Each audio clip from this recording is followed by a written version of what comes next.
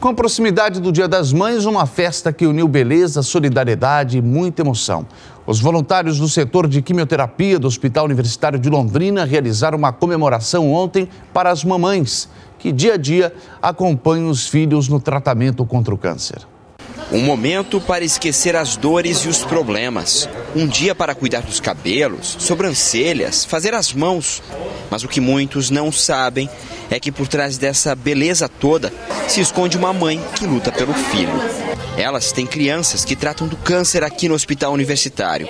É o caso da Cláudia. Ela tem o filho Cauã, de 5 anos, que trata de leucemia. A rotina semanal é sempre a mesma. Eles vêm aqui uma vez por semana. Passam seis horas no hospital, mas hoje foi de descontração. É um dia diferente, a gente passa muito tempo aqui, né?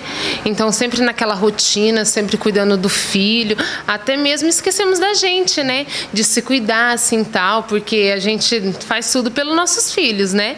Então assim, hoje para mim é muito importante, muito especial, juntamente com as voluntárias, né?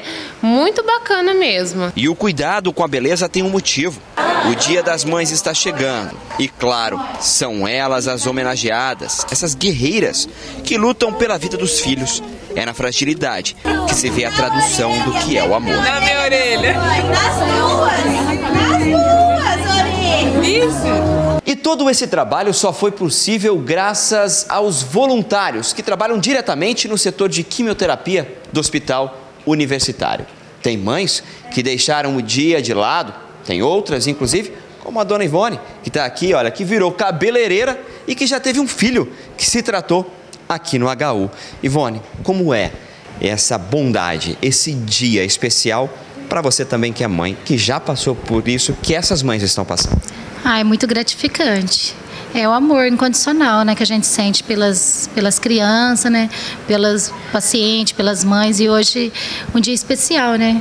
O nosso dia, né, Dia das Mães, nada melhor do que presentear elas, né, com um dia de beleza. Tem também as avós, aquelas que são sempre lembradas como a segunda mamãe. Essa senhora traz sempre a netinha para fazer tratamento contra o câncer aqui no HU. Hoje foi o dia dela. Muito especial por ser de, né, uma homenagem às mães, né?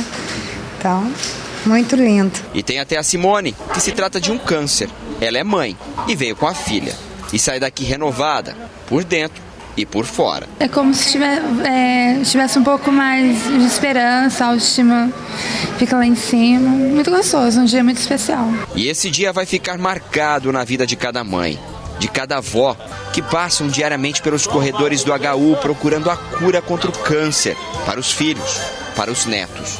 Um dia que também vai ser lembrado por essas crianças que hoje, mesmo pequenas, lutam com força contra a doença. Para elas, olhar para a mãe assim é mesmo uma recordação.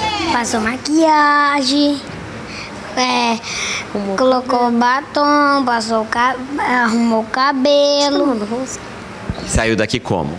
Bonita.